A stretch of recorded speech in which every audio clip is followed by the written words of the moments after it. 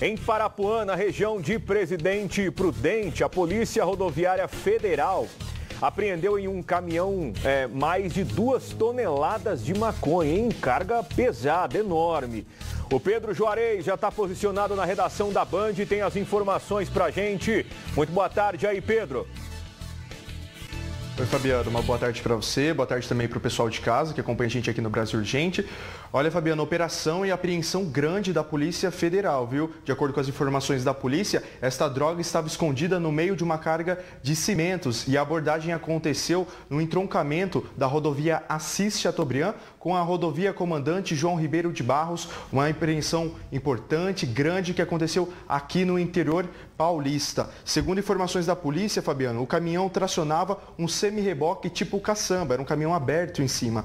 O veículo estava carregando, carregado com sacos de cimento e durante a fiscalização, então os policiais encontraram embaixo da carga 2.200 quilos de maconha, mais de duas toneladas só de droga. Ainda de acordo com a Polícia Federal, o motorista disse que carregou o caminhão em Foz do Iguaçu, no estado do Paraná, e que receberia 8 mil reais para levar a carga de droga até a cidade de São José do Rio Preto, onde deixaria em um posto de combustível que foi combinado. O homem foi preso em flagrante por tráfico de drogas, claro, além dele, né, o caminhão e as duas toneladas de maconha foram apreendidos. Esta ocorrência que foi apresentada na Polícia Civil de Tupã, Fabiano.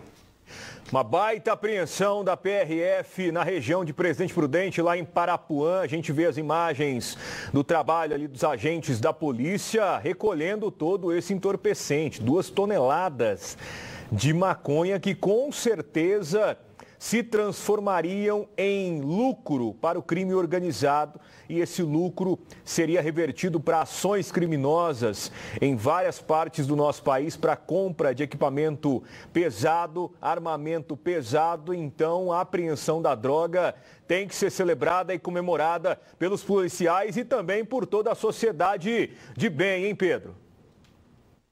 Tem sim, Fabiano, uma apreensão grande, podemos falar uma das maiores do ano, né? São 2.200 quilos só de droga que seriam distribuídos então e convertidos é, em dinheiro, em armamento, não para o bem, né? Teve uma outra apreensão, Fabiano, na cidade de Paraguaçu Paulista, também aqui na região de Prudente, que aconteceu no final da noite de ontem. A equipe do Toro, o Tático Ofensivo Rodoviário, abordou um caminhão de pequeno porte e ali na vistoria os policiais então encontraram um fundo falso neste caminhão. Com a ajuda do Canil, do BAEP, os cães, vale até falar o nome dos cães que ajudaram, Katana e Black, encontraram então mais dois pontos que existiam fundos falsos com uma grande quantidade de maconha. Ao todo, foram apreendidos 368 tabletes de maconha que pesaram 173 quilos da droga. O motorista do caminhão ele foi preso em flagrante por tráfico de drogas e ele será encaminhado à cadeia pública de Lutece. Então, aí duas apreensões aqui no interior paulista, duas apreensões grandes, somando quase duas toneladas e meia só de droga. Fabiano,